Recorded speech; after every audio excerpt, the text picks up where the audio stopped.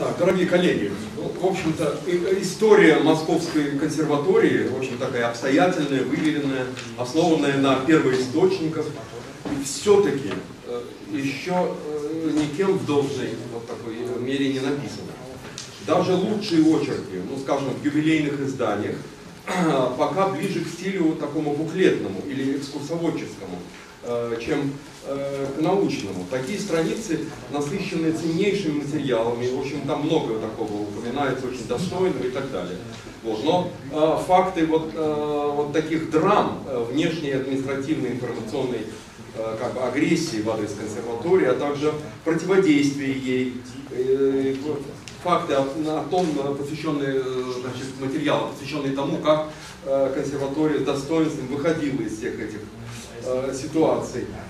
Вот э, в этом плане, конечно, очень мало еще сведений, как правило, это упоминается вскользь. А ведь феномен такой борьбы э, представляет собой э, явный и социально-психологический интерес, и даже, как ни странно, музыкально-исторический. На, на консерваторию под тем или иным предлогом, с той или иной э, подоплекой нападали со всех сторон. Консерваторию в этом отношении можно уподобить э, некой ярко одаренной личности, быстро обрастающей недоброжелателями, завистниками и теми, э, кого подлинный талант э, ну, попросту раздражает. Э, как все знают, участники и застрельщики атак на консерваторию в итоге оказались неправы. Цель моего сообщения, однако, не сводится к выставлению вот всех прошлых критиков на посмешище. Цель совершенно иная. Э, заинтересовать э, молодых исследователей, заинтересовать коллег э, вот этой э, темой истории консерватории. Вот вы знаете, я посмотрел, э, когда смотришь сайт Петербургской консерватории, там они очень широко привлекают э, вот, э, музыковедов, студентов-первокурсников. И те пишут маленькие работы, рефераты, буквально на всевозможные темы, даже вот мелкие, связанные именно с архивом, с, э, с первоисточниками. И там э, масса э, вот таких подробностей истории Питерской консерватории. И каждый раз эти работы, э, курсовые там, рефераты, они там публикуются, естественно, отредактированные. И э, панорама получается, в общем, довольно интересной. Я думаю, что нам в этом плане следует э, во многом ну, что-то такое хорошее перенять от, от Петербургской консерватории. А вот, ну, э, здесь у меня цель именно в этом. Потому что, скажу честно, э, вот именно источниковедчески, профессионально, э, для того, чтобы тему, э, объявленную мной, поднять, ей нужно заниматься ну, минимум лет 10.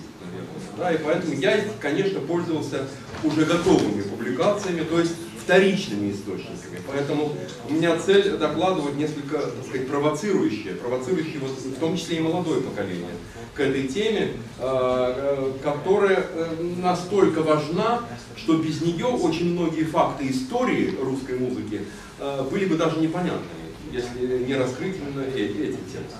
Вот. Ну, естественно, пока что это сделать особенно невозможно. Не знаю, несколько лет назад я пробовал узнать, где есть ли доступ к архивам, например, Краснопресненского райкома КПСС. Или где посмотреть э, протоколы э, заседаний партбюро э, консерваторий, скажем, 40-х, 50-х, 60-х, 70-х годов. Э, пока что, в общем, это безуспешно. На Старой площади есть. Ну, ну, ну да, ну э, что-то, ну да, но это было несколько лет назад. Сейчас, может быть, уже многое можно э, посмотреть. Вот. Вот, значит, повторяю, поэтому прошу меня заранее извинить, я пользуюсь просто вот такими э, опубликованными источниками. Авторы этих источников в том числе и сидят здесь, в зале, и я им очень, естественно, благодарен. Ну, конечно, такой материал можно уподобить вот некой природной стихии. Административные, словесные нападки на э, консерваторию, включая нападки на нее в прессе, по ходу истории то разгорались, то затихали, э, вздувались волнами эти волны э, причудливо отражали в себе все. И общий культурный контекст, и общественные посылы, и даже повороты в политике. Увы, они меньше всего касались действительных проблем внутри вуза, его реальных трудностей и специальных проблем музыкального образования. Поэтому на пике таких атак обвинения выдерживались не профессиональной тональности, а скорее социальной. Вообще консерваторию уличали, по сути, в ее, так сказать, инаковости, несхожести с моделями, которые ей навязывались извне. Вот. Ну, в советское время подобная критика налаживалась централизованно и начиналась с газетной кампании, запущенной по команде. Откуда шла команда, знали все. Э, ну, не то в новой России. Тот или иной вуз может оказаться жертвой просто крупного чиновника. Ему либо ректор вдруг станет поперек горла, либо понравится здание вуза, его расположение, его территория. Один, как бы один персонаж стремится победить, другого ситуация напоминает чуть ли не ну, некий сюжет э, кукольного театра. Некий Карабас-Барабас в виде министерского чиновника заботится не о благоденствии отечественного образования, а о том, как победить ректора, как отнять у него то или иное помещение, как заставить его сделать то, что от него требуется. Иному э, подобному деятелю костью в горле вообще само существование консерватории. Впрочем, еще в XIX веке и еще до основания консерватории даже выдающиеся деятели культуры резко противились самой идее существования консерватории в Москве и вообще в России. Э, консерваторию пытались э, уничтожить еще до ее рождения. Об этой исторической ситуации, конечно, тоже написано очень много, и, кстати, написано неплохо. Э, но, однако, она истолковывалась как противопостояние так называемых э, запад, э, значит, так называемых э, западников, то есть сторонников европейской системы литературского образования, и почвенников, э, то есть поборников русской самобытности, не только в творчестве, но и способах обучения музыки. Вот. На самом деле, конечно, дело обстояло куда сложнее и тоньше. Вот. Ведь в XIX веке э, идея создания консерватории в России, именно в Москве, пробивала, конечно, себе дорогу с трудом, все это знают. Э, необходимость, э, о необходимости системного музыкального образования эту необходимость мало кто понимал.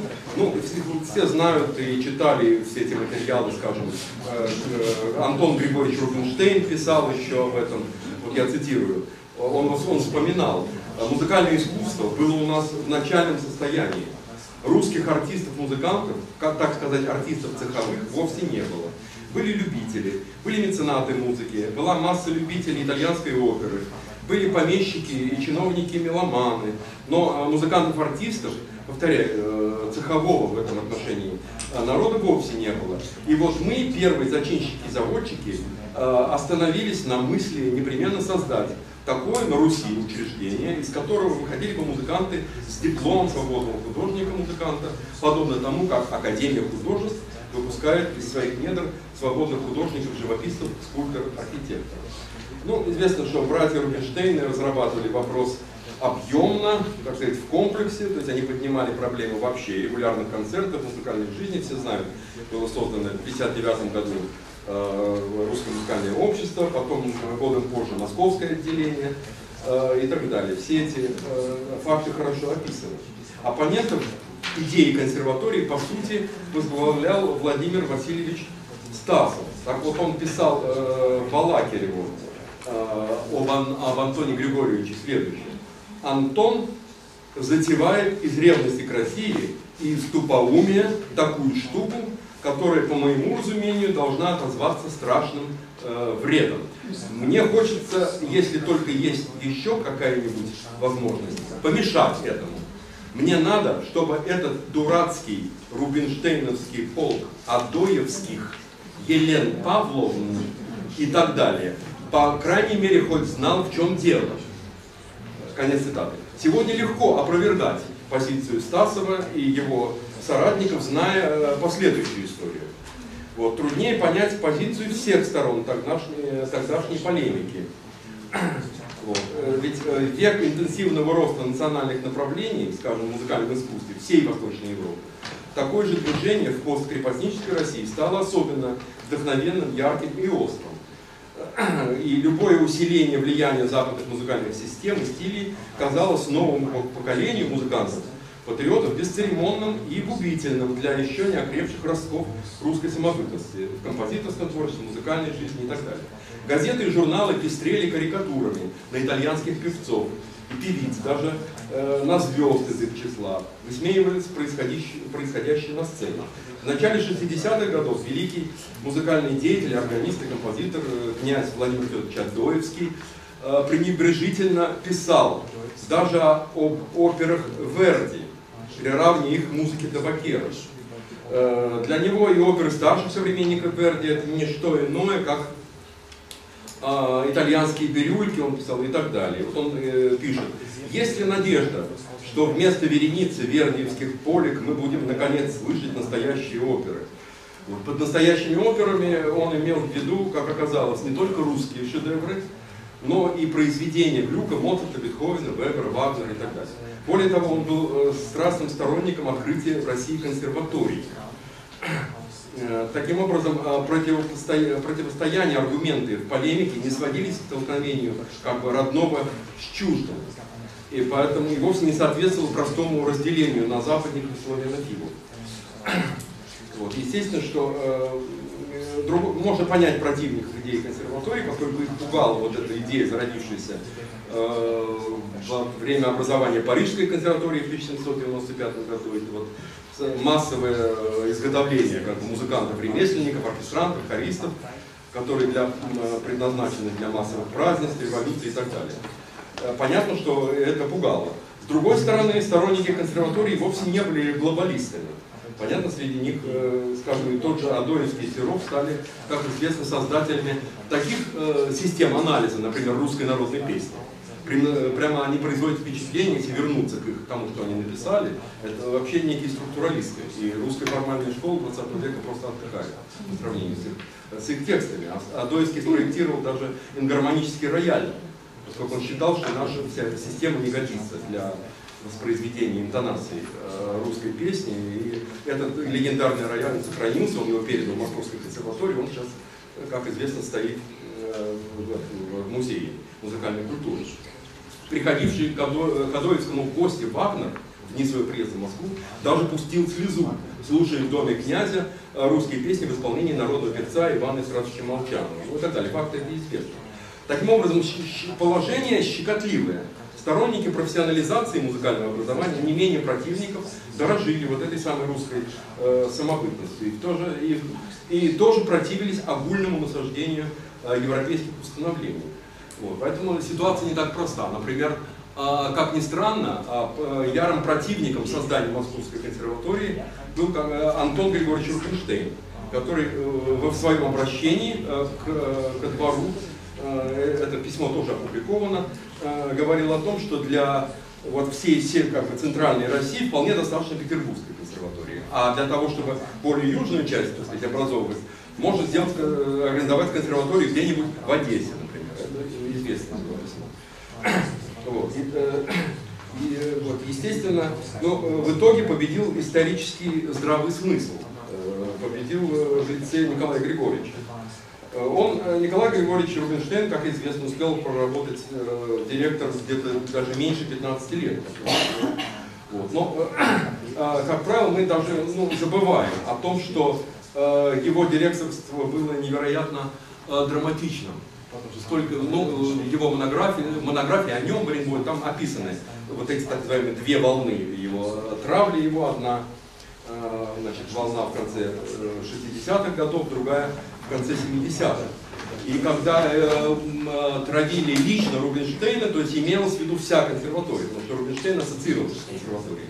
Ну, достаточно привести такой э, пример такой ассоциации, когда э, знаменитый впоследствии э, немецкий пианист Эмиль Зауэр впоследствии венский профессор, он еще совсем юношей приехал э, в Москву, и извозчику сказал, что, мол, консерваторию меня привези. Извозчик его долго колесил по улицам Москвы, и он не мог его э, привести по адресу.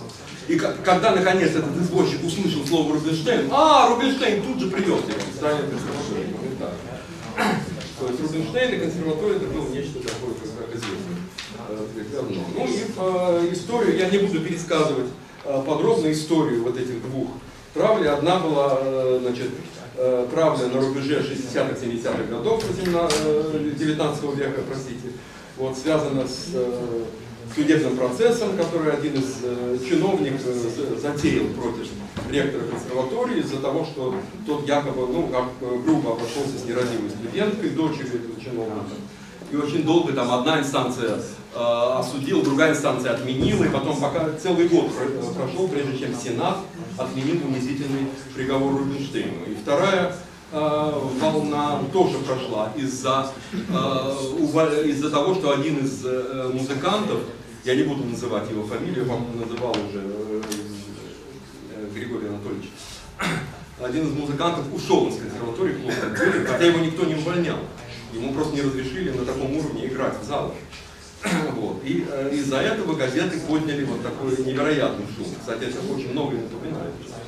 И сегодня в нашем вот. И, э, значит, в конце концов, и еще одно, и Рубинштейну пришлось очень много бороться уже в конце 70-х годов за то, чтобы э, отстоять самостоятельность Московской консерватории. Может быть, не все знают, что э, именно в конце 70-х годов, э, собственно, высшее музыкальное училище здесь, оно стало называться именно консерваторией, и более того, Московская консерватория была в то время, как мы сегодня бы назвали, филиалом Петербургской. У нее своего устава даже не было. Пользовался э, Петербургским уставом, и, наконец, Э, Рубинштейн э, Николай Григорьевич добился полной вот такой самостоятельности именно в конце 70-х годов, к началу 80-х.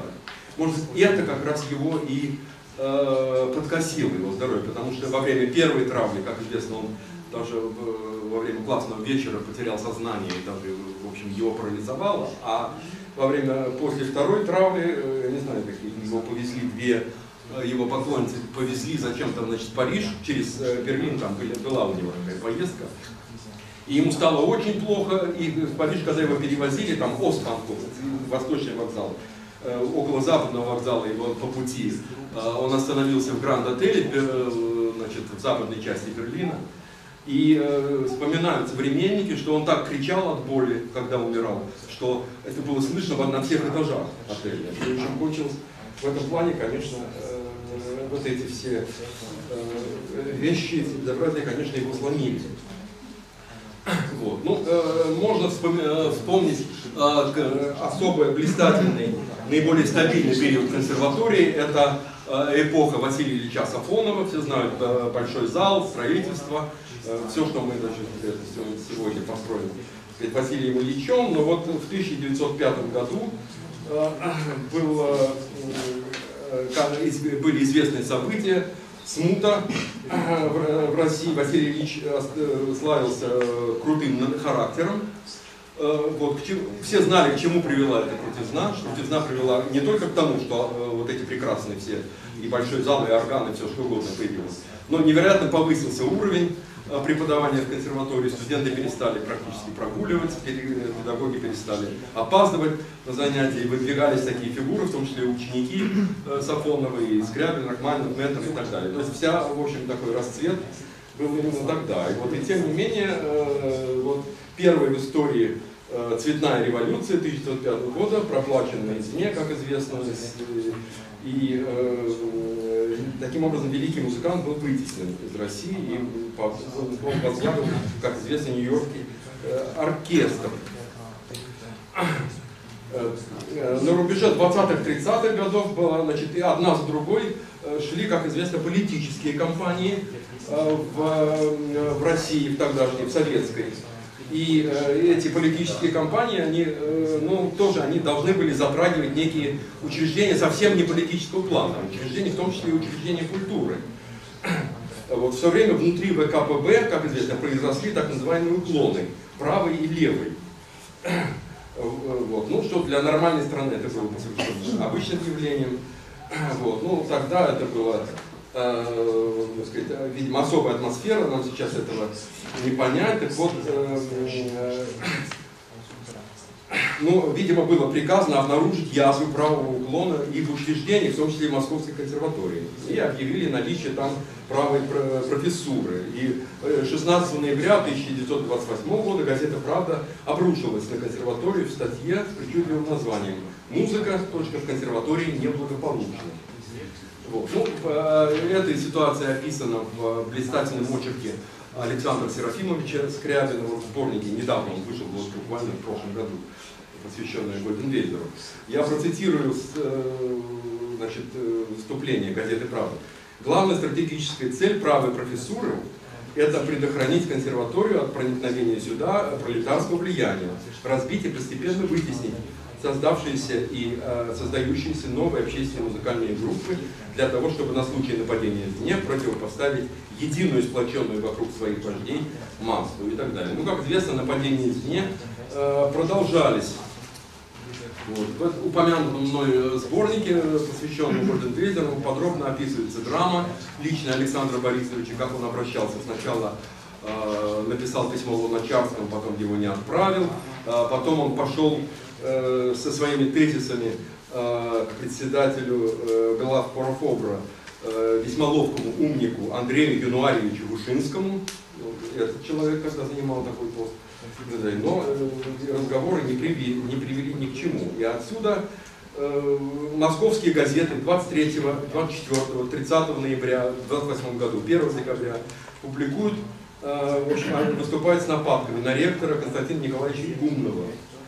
Вот. Эта э, кампания привела э, в общем, к событию, известному всем. То есть, когда именно поставил был во главе консерватории революционер Болеслав Станиславович Шебышевский, который ну, очень благодарил за это своего начальника по наркомпросу Феликса Яковлевича Кона и решил его именем назвать Э, консерватории переименовать, переименовать ее в высшую школу имени Феликса Кона. Вот. Ну, это все э, блестяще об этом рассказано в статье Екатерины Сергеевны Власовой в, России, в газете в нашей советский, э, советский музыка, российский музыкант. Вот это все мы можем, об этом мы можем э, судить достаточно наглядно. Да, так вот, э, то же самое и в монографии Екатерины Сергеевны, описанной в событии 48 года. Я лишь напомню, что Э, заведующая кафедрой истории зарубежной музыки Тамара Ирастовна обратилась в так называемую обследовательскую комиссию. Такая комиссия была назначена в 1948 году. И помню, к педагогам на лекции приходили стенографисты, которые стенографировали все, что было сказано и так далее. Она э, обратилась к обследовательскую комиссию, то, что вот она, э, вот такие-то у нее труды, что она пропагандой формализма никогда не занималась. Вот. Еще одна известная, может быть, менее известная волна, это в марте, в марте 1958 года группа аппаратчиков отдела науки и культуры э, ЦК КПСС направила высшему руководству Компартии объемное письмо в жанре доноса под названием «О фактах проникновения в среду студенчества московских художественных вузов э, идейно-чуждых влияний». Вот. Ну, туда э, под эту э, значит, мельницу попала и Московская консерватория. Э, значит, пришел от консерватории, от Порторга, не буду называть его фамилии, пришел соответствующий сигнал.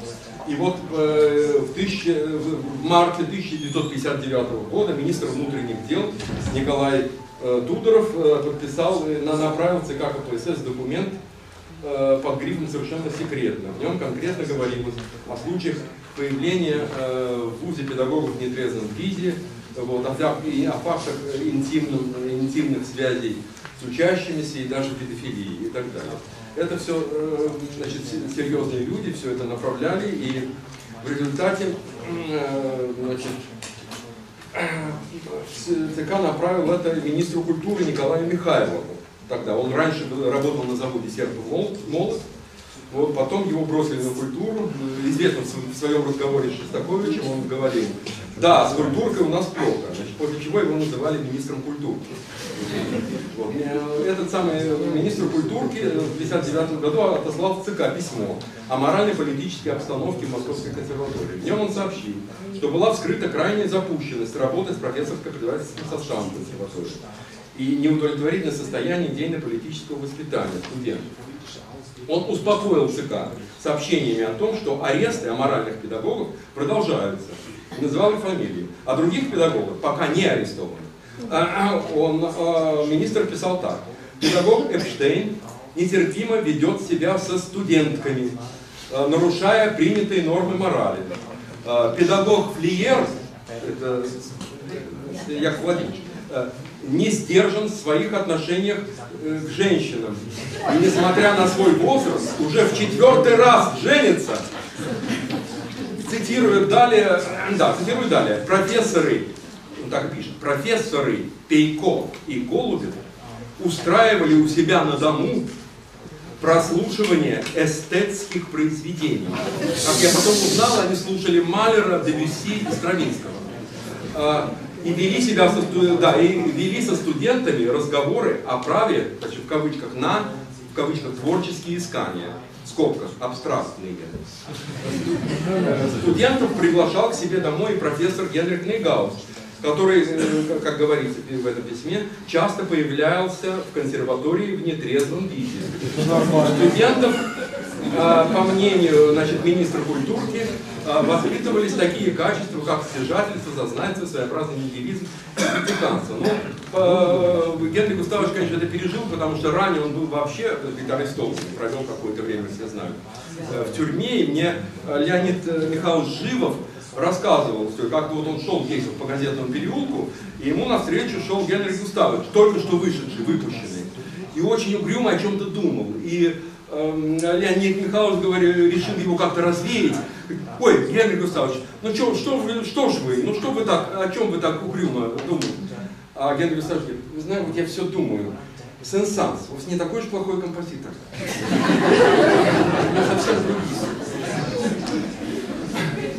Вот. Ну, э, в 21 веке удары в адрес Московской консерватории э, продолжались. Я вот здесь хотел э, было рассказать примерно о тех же фактах, о которых наш ректор рассказывал, ну, так сказать, публично в профессуре, на совете, скажем, о том, как в начале 2000-х годов министр, тогдашний министр культуры значит, хотел отвоевать большой зал и как там другой, э, скажем, градоначальник московский хотел вообще лишить э, всего этого помещения, э, консерваторию. Вот. Но это я думаю расскажу как-нибудь в кулуарах, а лучше, чтобы об этом рассказал как-нибудь сам Александр Сергеевич, если он согласится все-таки когда-то написать нечто вроде мемуаров или что-то еще. Но эти истории лучше сказать, что тогда большой зал э, спас Э, только президент нашей страны, Владимир Владимирович. Там вообще была такая история, я не буду пересказывать, э, очень многие об этом я думаю знают. И факт э, того, что у консерватории хватило и достоинства, и силы, и, в общем, достаточно мудрого взгляда на жизнь, и еще консерватории повезло, что сейчас у нее вот такой богатырь и защитник, как наш ректор. Я не говорю не потому, что он ректор, да, потому что я могу и возразить, и поспорить по многим проблемам. Но это вопрос, вот именно этот аспект, он особенно важен для нас и в наше время. И, и э, э консерватория в итоге исторически в этих спорах оказывается права.